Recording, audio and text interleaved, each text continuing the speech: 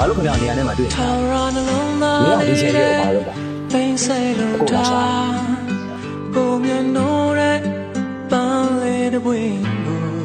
ငွေဆိုတာချိန်တွေဟောင်းသွားလဲပဲခုထိမမေ့သေးဘူး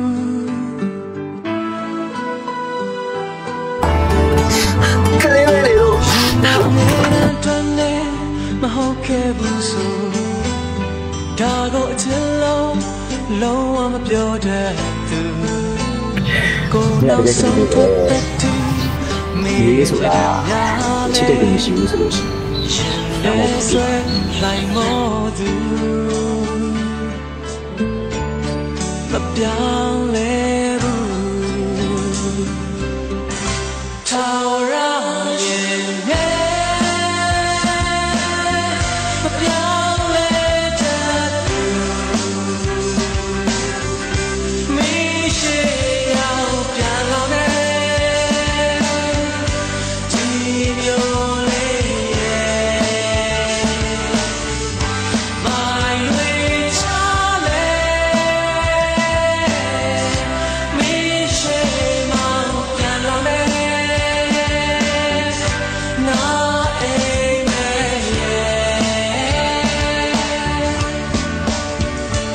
amen ရင်မထားရှိခဲ့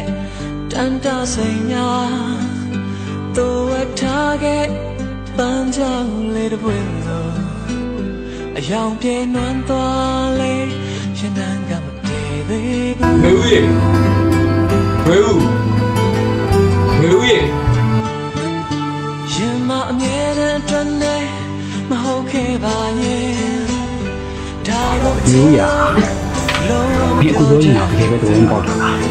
မျိုးကိုသဘောကျတယ်နောက်ဆုံးထွက်တဲ့တီမင်းညာဘယ်တော့ဒီမပွင့်နေပါဖြစ်လဲခုကိုရှိနေပြီလေလိုက်မောသူ